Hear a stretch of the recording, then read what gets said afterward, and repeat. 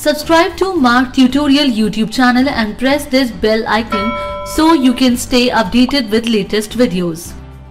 Hello friends and welcome to Marg ERP tutorial in which our today's topic is how financial year can be restored.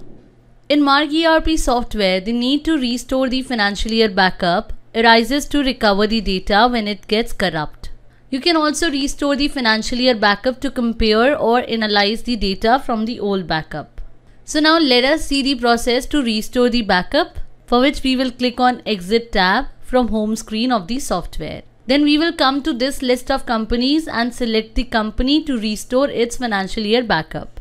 Suppose we select Marg ERP and press enter key on it. Then selected company window will appear. We will click on restore backup.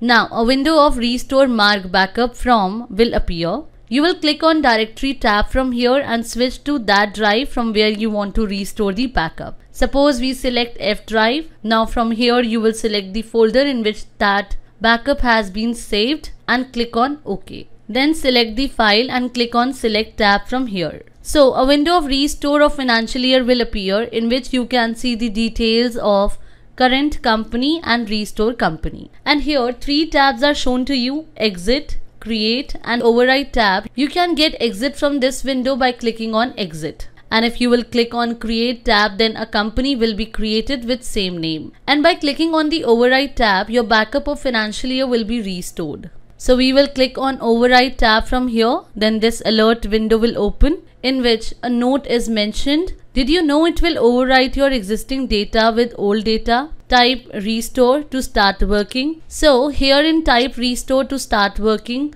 we will type restore. And in this way your backup of financial year will be restored. So friends, by following these simple steps shown in this video, you can restore the backup of financial year in Marg ERP software. Thanks for watching.